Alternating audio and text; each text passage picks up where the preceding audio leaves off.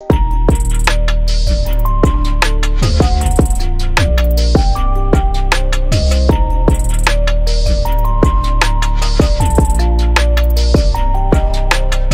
So Christmas just came early for my 4C, 4Z, 5G LTE queens. Are we talking texture? okay? Because I'm bringing it. Her Given Hair has launched their headband wig, which features human hair that best mimics the texture of my natural hair queens, okay? The ones with the kinks and the coils. And if you're someone who doesn't know where to begin or you're looking for style inspiration, I'm gonna show you everything you need to know because this is jam-packed with style inspiration and hair care tips. So definitely make sure you stay tuned. So when you first get your wig, I know you're gonna be excited, but heed my advice. Take that unit and saturate it with water in preparation for the co-wash step you definitely want to use a super hydrating conditioner and allow your unit to set for anywhere from 15 to 30 minutes. And this is also a really good time to detangle. Use a little bit of water, use a brush if you can, a detangling brush more specifically, because that will get these curls together so that you see your true definition. But also expect some shedding because this unit is very, very tightly coiled. Now this is the unit soaking wet after I rinse the conditioner and the curls are popping. So if you want it in its natural state, no manipulation, this is exactly what you can expect. I would say moderate volume, not as much curl definition, but you know, I'm gonna take you on this journey so you guys can see exactly how I get these curls popping. Now I like to work in smaller sections so I don't get intimidated. So I'm first gonna go in with some hair oil. You can use any oil that you have on hand and I just like to apply this to this section as a whole and then go in and work with this detangling brush to make sure that I distribute it evenly, coating as much of the strands as possible. The Aussie Miracle Curls Leave-In Detangling Milk. This is a life changer. It's a drugstore favorite of mine. It is one of the best for accentuating and defining those curls. Now, the brush that I'm using, it helps to take the curl definition to the next step. And when you guys see, I'm holding the hair taut, but I'm also making sure that the brush is sort of like perpendicular on an angle to the length of the hair. And I like to use a lot of the leave-in detangling milk. I get real heavy handed and I found that honestly, I'm using medium sections here, but it's best if you actually break them down if you want super coily hair. This is a texture of about 3C4A and it's about 16 inches. So the way that I define the hair, it may appear slightly shorter, but one thing I noticed about this once you allow this hair to dry, it increases in volume. So this is how it looks after I worked the product through all of the hair and I love the curl definition. This is like for someone who wants moderate volume, but still likes curl definition. I'm telling you, these curls are dripping like Jheri Curl Juice vibes to the fullest. Oh, but we're not dripping. I just wanted to, you know, create a little image in your mind.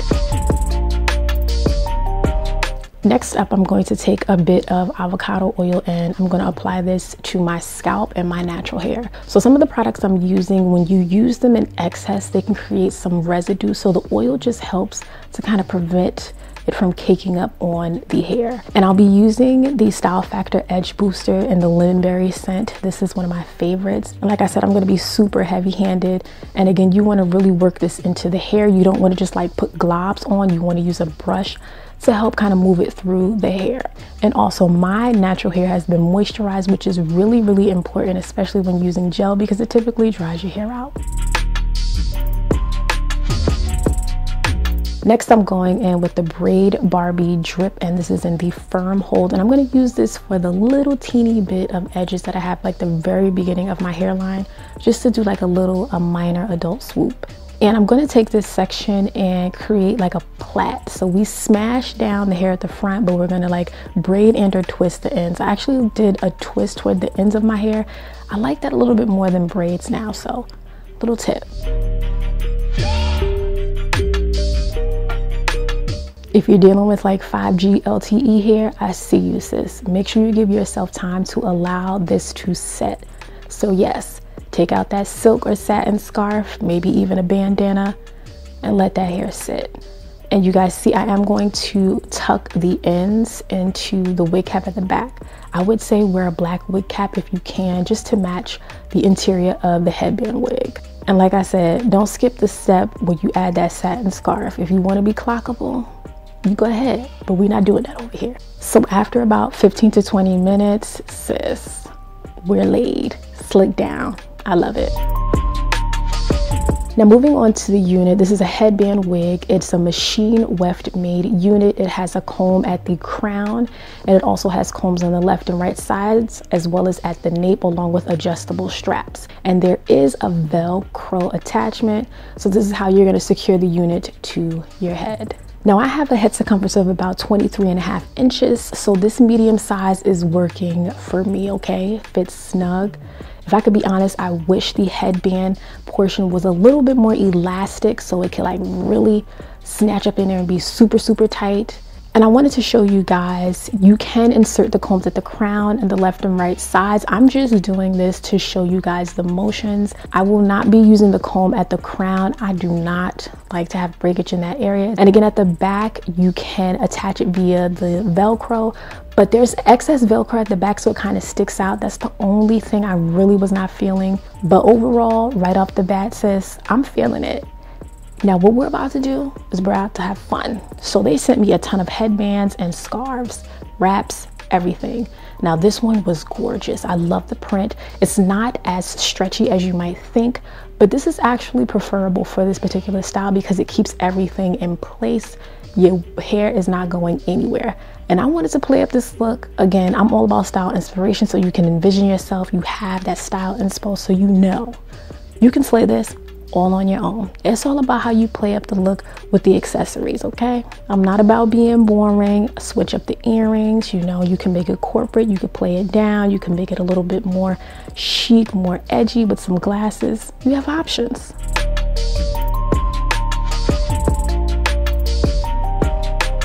We're moving into a more vibrant headband color and this is speaking to my whole personality. I love the bold color and the print, but I wanted to take it down a notch, put some studs on, you know, and then give you a little bit of edge with the glasses. I'll have these linked below. We love this look. Cute aesthetic.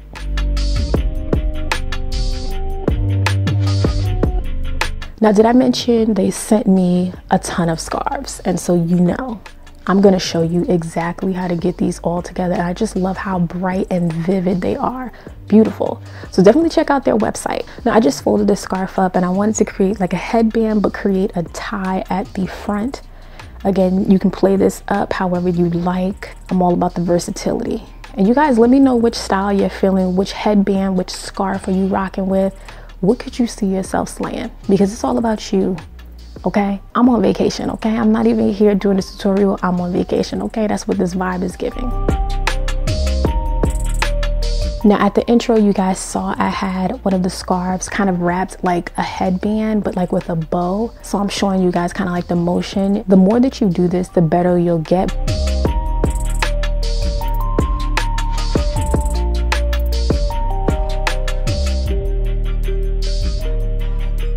So this is sort of like an elongated headband and basically it has some stretch and it's like open on both ends. And you can use this to create like that fine apple that pineapple and updo sort of like that cascading hair from the top.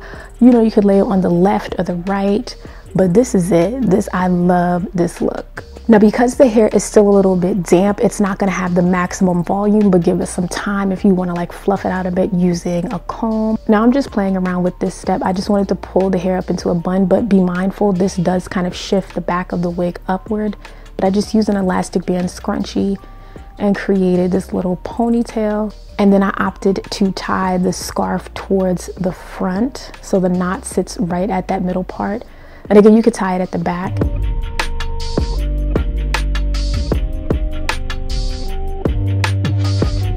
And once you fluff up those curls, you situate the hair, you have another look. I don't know how many looks I gave you guys, but you could slay throughout the entire week, okay?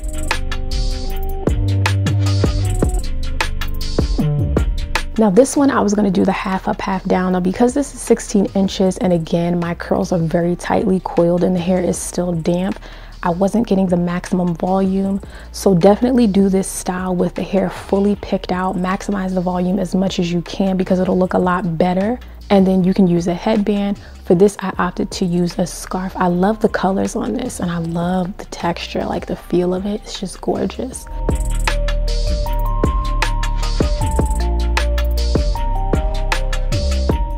Easy enough for anyone to do. We're gonna ditch the lace fronts as we move into fall as well, okay? We have options. We can do protective styles. We can save our edges and we can give looks throw and go type easy okay so definitely let me know what was your favorite look check out her given hair i have the links below in the description box subscribe join the family it's very lit over here okay? And let me know when you do. I love giving you guys a nice warm welcome. Share this with your homeboys and your homegirls. Kiki with me in the comments. And i hope i see you in the next one